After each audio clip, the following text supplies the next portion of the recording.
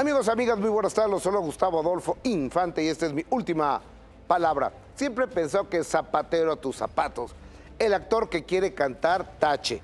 El cantante que quiere actuar, tache. El conductor que quiere ser actor, ya se fastidió el asunto.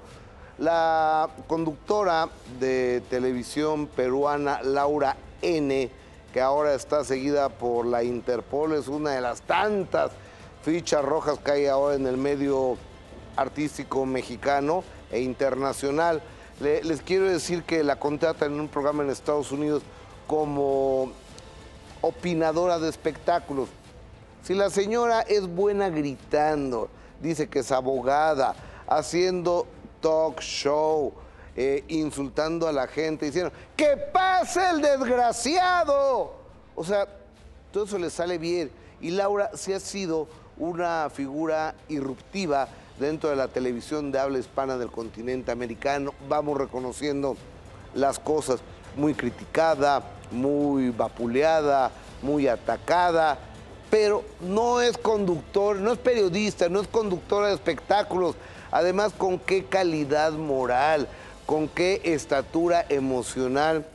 Estar en un programa allí en Estados Unidos diciendo que Gabriel Soto es un descerebrado y un poco hombre y que Irina Baeva es una... Así lo dijo, de cuatro, de cuatro letras, la que empieza con P.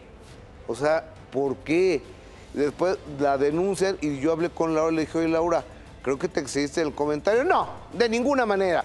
Le digo, oye, ofrece una disculpa, yo te siento con Gabriel Soto.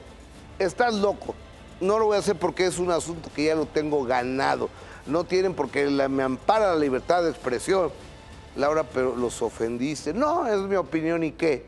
Tú tienes otra opinión, es tu opinión. No, bueno, está bien. Finalmente se mete en problemas con el SAT porque debía dinero, le quitaron una propiedad, una casa, un departamento, por un valor de casi 13 millones de pesos. Y ese mismo lo vuelve a vender la señora Laura, ya está pasando de lista. No le dan un tiempo para que llegue y se pueda amparar y pueda llevar el, juicio en libertad. Pues no llega Laura Bozo, no se ampara, no nada. Y ahora, como no está dándole seguimiento a lo de Gabriel Soto e Irina Baeva, por lógica pierde porque ni sus abogados ni se presentaron ni nada.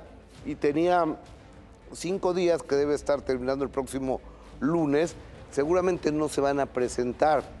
Entonces van a empezar a hacer una recolección de cuánto gana, qué propiedades tiene y demás para pedirle un porcentaje de eso para Gabriel e Irina. El chiste le va a costar entre 2 y 3 millones de pesos. Moraleja, zapatero a tus zapatos y cuidadito y calladitos mejor todos y cada uno de nosotros con la honorabilidad de las personas y más si no nos consta. Soy Gustavo Adolfo Infante, gracias.